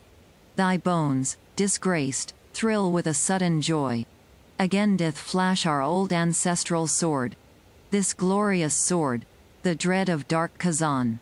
This good sword, servant of the czars of Moscow. Now will it revel in its feast of slaughter. Serving the master of its hopes. Pretender. Moves quietly with bowed head. How happy. Is he, how flushed with gladness and with glory. His stainless soul. Brave knight, I envy thee. The son of Kurbsky, nurtured in exile. Forgetting all the wrongs borne by thy father. Redeeming his transgression in the grave. Ready art thou for the son of great Ivan. To shed thy blood, to give the fatherland. Its lawful czar. Righteous art thou, thy soul. Should flame with joy. Kurbsky. And dost not thou likewise? Rejoice in spirit? There lies our Russia, she is thine, Tsarevich. There thy people's hearts are waiting for thee, there thy Moscow waits. Thy Kremlin, thy dominion. Pretender. Russian blood. O Kurbsky, first must flow. Thou for the Tsar. Hast drawn the sword, thou art stainless, but I lead you. Against your brothers, I am summoning. Lithuania against Russia, I am showing to foes the longed for way to beauteous Moscow. But let my sin fall not on me, but thee. Boris, the regicide. Forward. Set on. Kurbsky. Forward. Advance. And woe to Godunov. They gallop. The troops cross the frontier. The council of the Tsar. The Tsar, the Patriarch and Boyars. Tsar. Is it possible? An unfrocked monk against us leads rascal troops, a truant friar dares write. Threats to us. Then 'tis time to tame the madman. Trubetskoy, set thou forth, and thou Basmanov. My zealous governors need help. Chernigov. Already by the rebel is besieged. Rescue the city and citizens. Basmanov. Three months. Shall not pass, sire, ere even rumor's tongue shall cease to speak of the pretender, caged in iron, like a wild beast from oversea. We'll hail him into Moscow, I swear by God. Exit with Trubetskoy. Tsar. The Lord of Sweden hath by envoys tendered alliance to me. But we have no need to lean on foreign aid, we have enough of our own warlike people to repel traitors and Poles. I have refused. Shelkalov. In every district to the governors. Send edicts, that they mount their steeds, and send the people as of old on service, likewise. Ride to the monasteries, and there enlist the servants of the churchmen. In days of old, when danger faced our country, hermits freely went into battle. It is not now our wish to trouble them. No, let them pray for us. Such is the Tsar's decree, such the resolve. of his boyars. And now a weighty question. We shall determine. Ye know how everywhere. The insolent pretender hath spread abroad. His artful rumors, letters everywhere. By him distributed, have sowed alarm. And doubt, seditious whispers to and fro. Pass in the marketplaces, minds are seething. We needs must cool them. Gladly would I refrain from executions, but by what means and how? That we will now determine. Holy Father, thou first declare thy thought. Patriarch, the Blessed One, the All-Highest, hath instilled into thy soul. Great Lord, the spirit of kindness and meek patience. Thou wishest not perdition for the sinner. Thou wilt wait quietly, until delusion shall pass away, for pass away it will.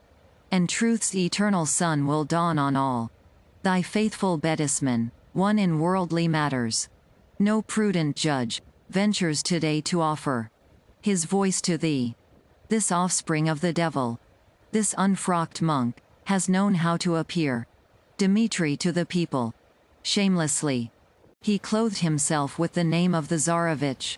As with a stolen vestment. It only needs to tear it off, and he'll be put to shame. By his own nakedness. The means thereto. God hath himself supplied. No, sire, six years. Since then have fled. 'Twas in that very year.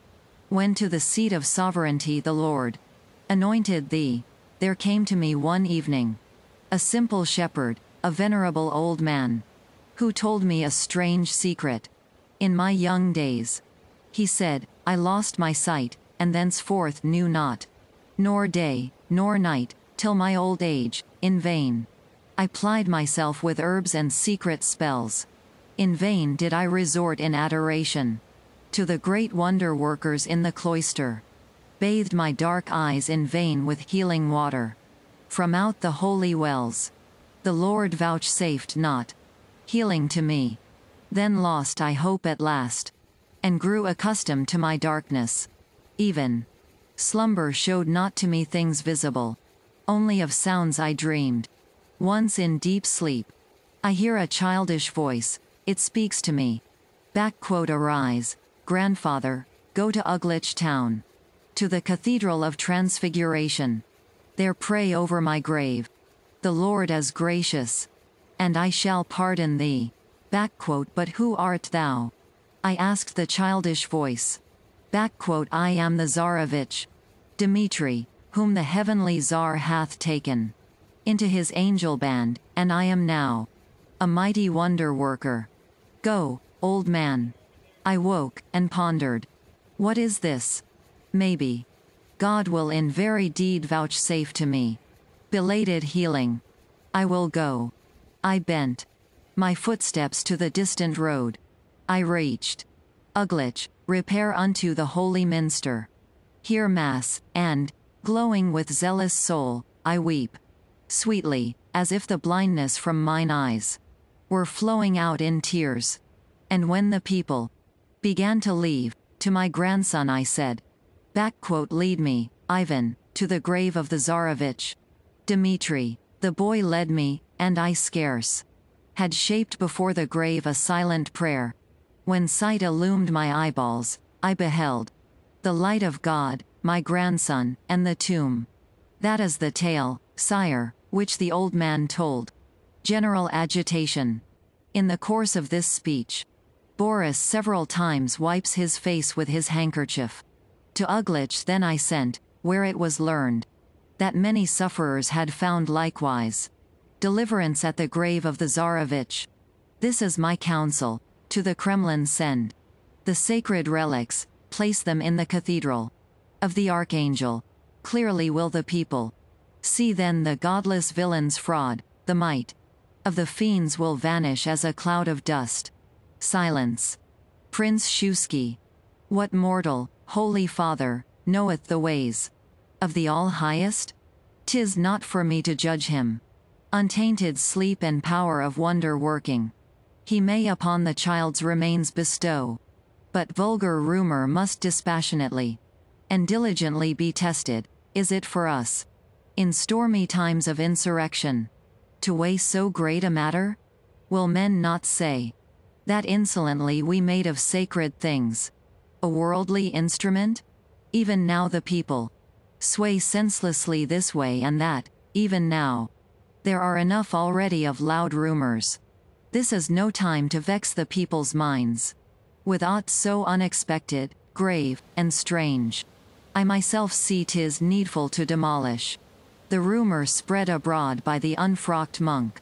But for this end other and simpler means will serve.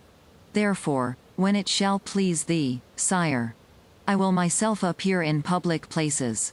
I will persuade, exhort away this madness. And will expose the vagabond's vile fraud. Czar. So be it. My lord patriarch, I pray thee. Go with us to the palace, where today I must converse with thee. Exeunt. All the boyars follow them. First boyar. Sotto voce to another. Didst mark how pale our sovereign turned, how from his face there poured a mighty sweat? Second boyar. I durst not, I confess. Uplift mine eyes, nor breathe, nor even stir. First boyar. Prince Shuisky has pulled it through. A. Splendid fellow. A plain near Novgorod Seversk. December 21, 1604. A battle. Soldiers. Run in disorder. Woe, woe. The Tsarevich. The Poles. There they are. There they are. Captains enter. Margeret and Walther Rosen. Margeret. Whither, whither? Allens. Go back. One of the fugitives. You go back, if you like, cursed. Infidel. Margeret. Qua, qua? Another. Kava. KVA. You like, you frog from over the sea, to croak at the Russian Tsarevich, but we, we are Orthodox. Margeret. Kest ce a dire, Orthodox. Sacres go. Medita canal. Mordieu, mine hair, rage on. Derate KCA na pas de bras pour frapper, ca na k day. Hombies pour fewer. Rosen. S. East Shande. Margeret. Venter Saint Gris. Je ne bouge plus d'une pas. Puisque le vin est tire, il faut le boire. Keen dites vous. Mein Herr? Rosen. Si haben recht. Margeret. Tudieu, il y fate shod. Ce diable de pretender. Cum ils l'appellant, est un bouger, qui adu. Poil o call, keen penses vu, mein Herr? Rosen. Ja. Margeret. He. Voix donk, voix donk, L'action s'engage. Sur les derrières de l'ennemi. Ce doit être le brave. Basmanov, qui aurait fait une sortie. Rosen. Ich glaube das. Enter Germans. Margeret. Ha, ha. Voici nos Allemands. Messieurs. Mein Herr, dites leur donc de se railier et, sacre bleu. Chargens. Rosen. Ser gut. Halt. The Germans halt. Marsch. The Germans. They march. Hilf Gott. Fight. The Russians flee again. Poles. Victory. Victory. Glory to the Tsar Dmitri. Dmitri. On horseback. Cease fighting. We have conquered. Enough. Spare Russian blood. Cease fighting. Open space in front of the cathedral in Moscow. The people. One of the people. Will the Tsar soon come out of the cathedral? Another. The Mass is ended. Now the Te Deum is going on. The first. What? Have they already cursed him? The second. I stood in the porch and heard how the deacon cried out, Grishka Otrepiev as anathema. The first. Let him curse to his heart's content. The Tsarevich has nothing to do with the Otrepiev. The second. But they are now singing Mass for the repose of the soul of the Tsarevich. The first. What? A Mass for the dead sung for a living. Man? They'll suffer for it, the godless wretches. A third. Hissed. A sound. Is it not the czar? A fourth.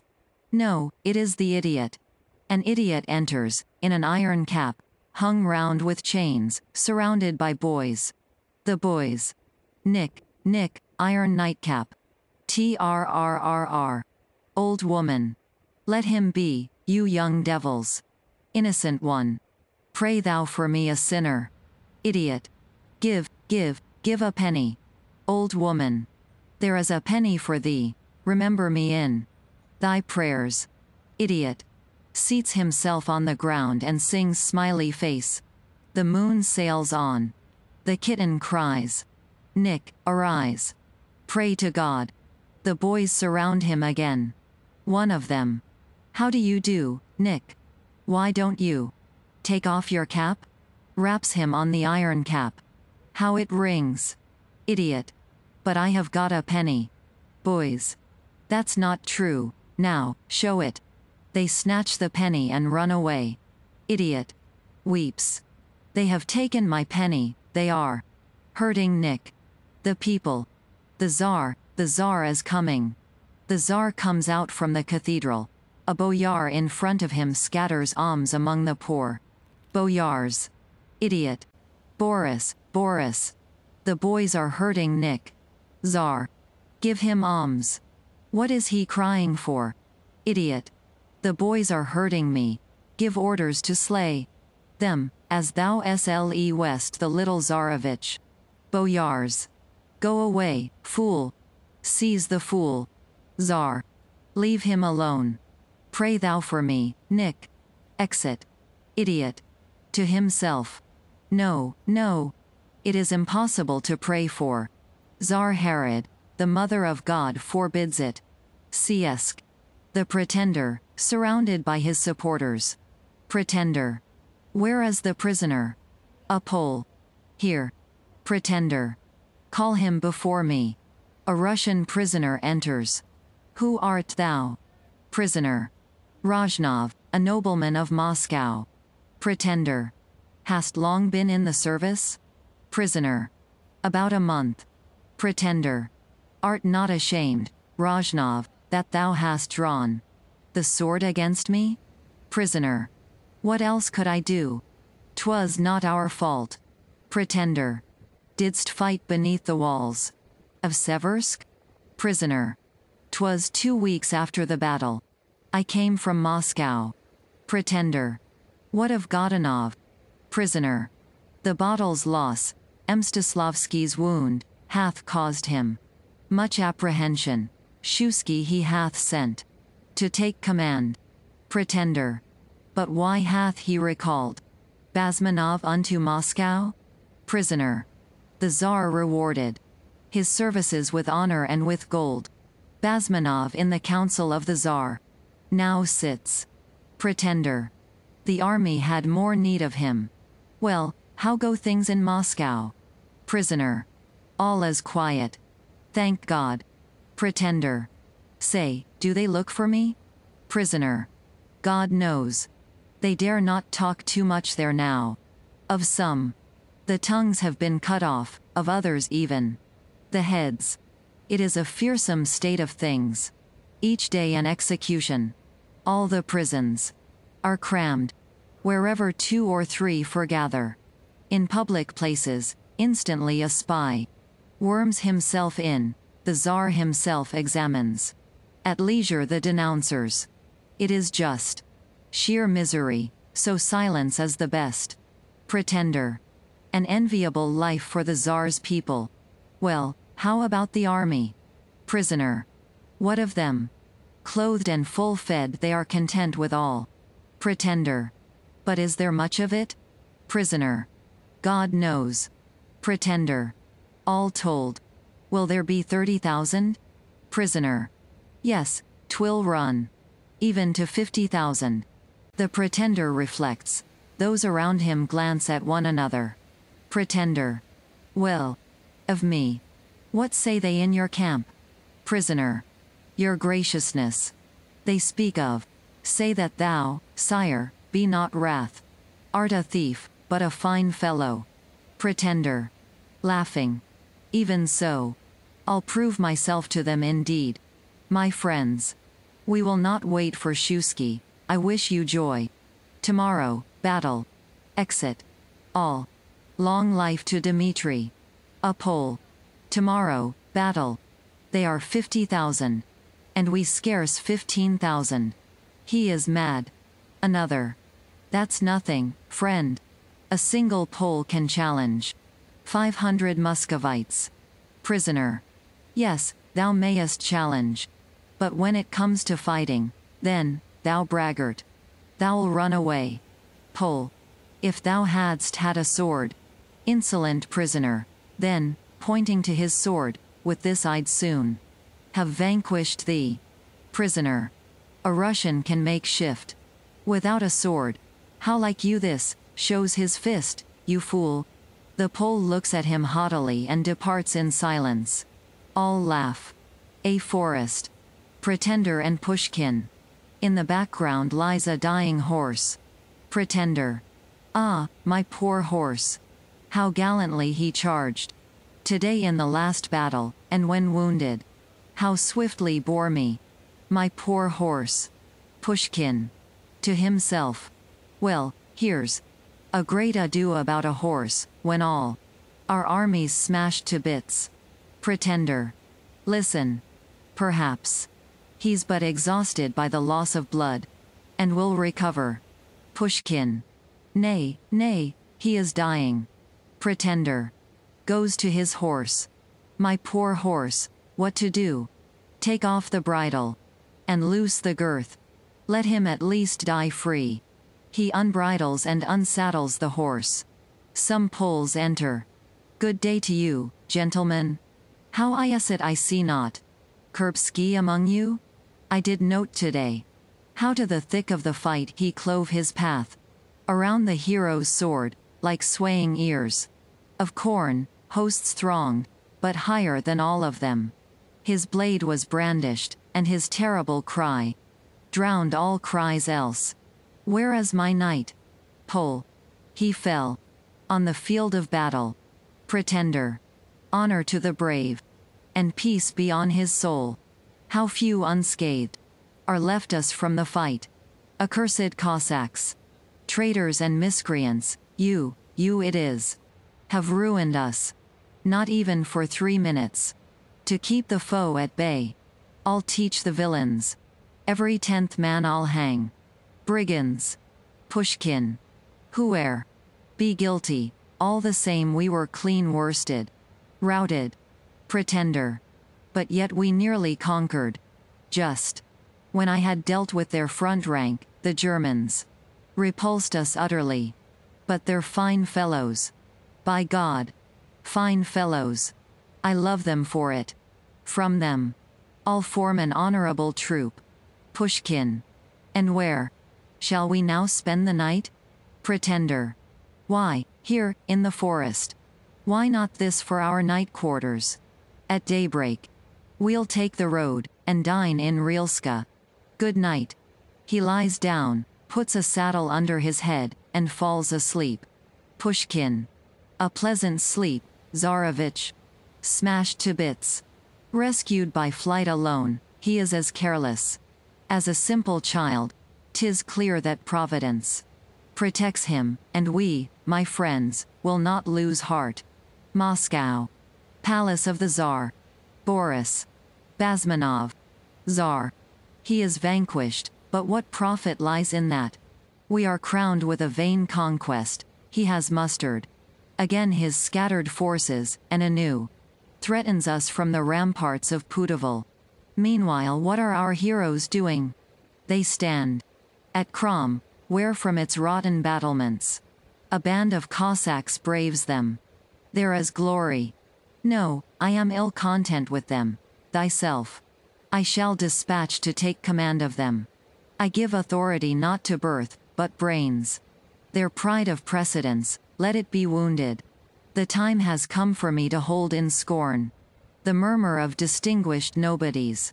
And quash pernicious custom. Basmanov. I, my lord. Blessed a hundredfold will be that day. When fire consumes the lists of noblemen. With their dissensions, their ancestral pride. Tsar. That day is not far off.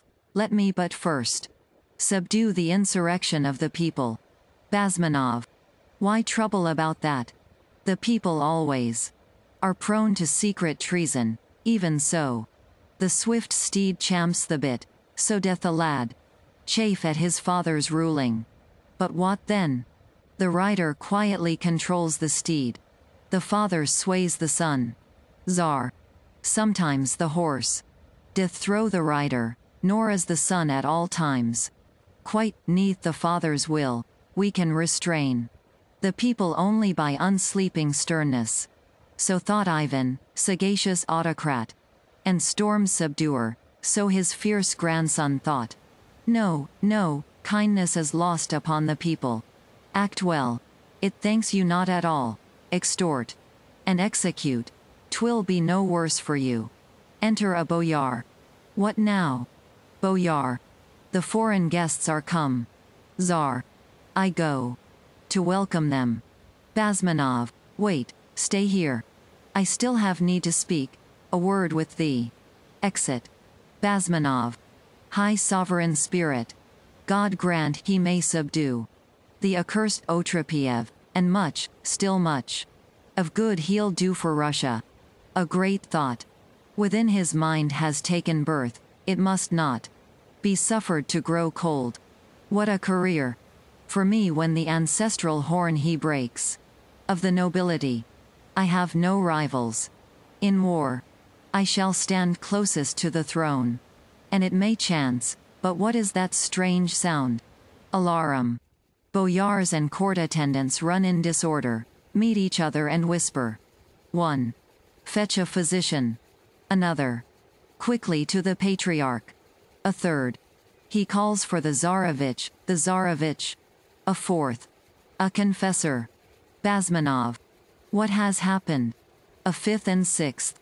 The Tsar is ill. The Tsar is dying. Basmanov. Good God. A fifth. Upon the throne. He sat, and suddenly he fell. Blood gushed. From his mouth and ears. The Tsar is carried in on a chair.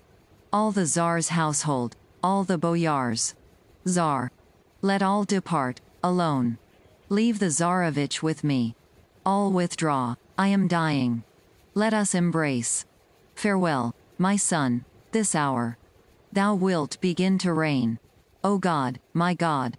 This hour I shall appear before thy presence. And have no time to purge my soul with shrift. But yet, my son, I feel thou art dearer to me. Than is my soul's salvation, be it so. A subject was I born, it seemed ordained. That I should die a subject in obscurity. Yet I attained to sovereignty, but how? Ask not. Enough that thou art innocent. In justice now thou'll reign, and I alone. Am answerable for all to God. Dear son. Cherish no false delusion, of thy free will. Blind not thyself. Stormy the days wherein thou dost assume the crown. He is dangerous. This strange pretender, with a fearful name. He is armed. For many a year experienced. In rule, I could restrain revolt and treason. They quaked with fear before me, treachery. Dared not to raise its voice, but thou, a boy. An inexperienced ruler, how wilt thou govern amid the tempests, quench revolt, shackle sedition? But God is great. He gives wisdom to youth, to weakness strength. Give ear. Firstly, select a steadfast counselor. Of cool, ripe years, loved of the people, honored. Mid the boyars for birth and fame, even Shuisky. The army craves today a skillful leader. Basmanov send, and firmly bear the murmurs. Of the boyars. Thou from thy early years. Didst sit with me in council, thou dost know. The formal course of government, change not. Procedure. Custom is the soul of states. Of late I have been forced to reinstate. Bans, executions. These thou canst rescind. And they will bless thee, as they blessed thy uncle. When he obtained the throne of the terrible. At the same time, little by little, tighten. Anew the reins of government, now slacken. But let them not slip from thy hands. Be gracious. Accessible to foreigners, accept. Their service trustfully. Preserve with strictness. The Church's discipline. Be taciturn. The royal voice must never lose itself. Upon the air in emptiness, but like. A sacred bell must sound but to announce. Some great disaster or great festival. Dear son, thou art approaching to those years. When woman's beauty agitates our blood. Preserve, preserve the sacred purity. Of innocence and proud shamefacedness. He, who through passion has been wont to wallow in vicious pleasures in his youthful days, becomes in manhood bloodthirsty and surly. His mind untimely darkens. Of thy household, be always head, show honor to thy mother, but rule thy house thyself, thou art a man, and czar to boot. Be loving to thy sister, thou wilt be left of her the sole protector. Theatre. On his knees. No, no, live on, my father, and reign long. Without thee both the folk and we will perish. Czar. All is at end for me. Mine eyes grow dark. I feel the coldness of the grave. Enter the patriarch and prelates. Behind them all the boyars lead the Tsaritsa by the hand. The Tsarevna is sobbing. Who's there? Ah, tis the vestment, so. The holy tonsure. The hour has struck. The Tsar becomes a monk. And the dark sepulchre will be my cell. Wait yet a little, my lord patriarch. I still am Tsar. Listen to me, boyars. To this my son I now commit the tsardom. Do homage to Fyodor. Basmanov, thou. And ye, my friends, on the grave's brink I pray you. To serve my son with zeal and rectitude. As yet he is both young and uncorrupted. Swear ye? Boyars. We swear. Tsar. I am content. Forgive me. Both my temptations and my sins, my wilful and secret injuries. Now, Holy Father. Approach thou. I am ready for the rite. The rite of the tonsure begins. The women are carried out swooning. A tent. Basmanov leads in Pushkin. Basmanov. Here enter, and speak freely. So to me. He sent thee. Pushkin. He doth offer thee his friendship. And the next place to his in the realm of Moscow. Basmanov. But even thus highly by Fyodor am I. Already raised. The army I command. For me he scorned nobility of rank and the wrath of the boyars. I have sworn to him. Allegiance. Pushkin. To the throne's lawful successor. Allegiance thou hast sworn, but what if one more lawful still be living? Basmanov. Listen, Pushkin. Enough of that. Tell me no idle tales. I know the man. Pushkin. Russia and Lithuania have long acknowledged him to be Dmitri. But, for the rest, I do not vouch for it. Perchance he is indeed the real Dmitri. Perchance but a pretender, only this. I know, that soon or late the son of Boris will yield Moscow to him. Basmanov. So long as I stand by the youthful Tsar, so long he will not forsake the throne. We have enough of troops. Thank God. With victory I will inspire them. And whom will you against me send, the Cossack? Karol or Mnishek? Are your numbers many? In all, 8,000. Pushkin. You mistake, they will not amount even to that. I say myself. Our army is mere trash, the Cossacks only. Rob villages, the Poles but brag and drink. The Russians. What shall I say? With you all not. Dissemble. But, Basmanov, dost thou know? Wherein our strength lies. Not in the army, no. Nor Polish aid, but in opinion, yes. In popular opinion. Dost remember. The triumph of Dmitri, dost remember. His peaceful conquests, when, without a blow, the docile towns surrendered, and the mob bound the recalcitrant leaders? Thou thyself sawst it, was it of their free will our troops fought with him? And when did they so? Boris was then supreme. But would they now? Nay, nay. It is too late to blow on the cold embers of this dispute, with all thy wits and firmness. Thou'll not withstand him. Were't not better for thee to furnish to our chief a wise example? Proclaim Dmitri Tsar, and by that act, bind him your friend forever? How thinkest thou? Basmanov. Tomorrow thou shalt know. Pushkin. Resolve. Basmanov. Farewell. Pushkin. Ponder it well, Basmanov. Exit. Basmanov. He is right. Everywhere treason ripens, what shall I do? Wait, that the rebels may deliver me. In bonds to the Otrepiev?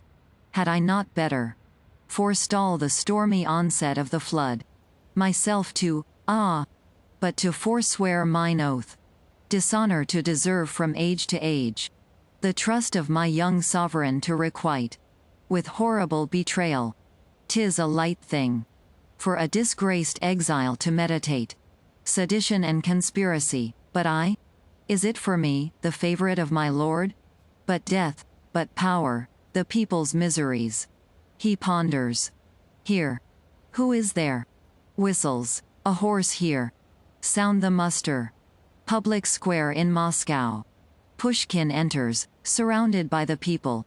The people. The Tsarevich a boyar hath sent to us. Let's hear what the boyar will tell us. Hither. Hither. Pushkin. On a platform. Townsmen of Moscow. The Tsarevich. Bids me convey his greetings to you. He bows. Ye know. How divine providence saved the Tsarevich.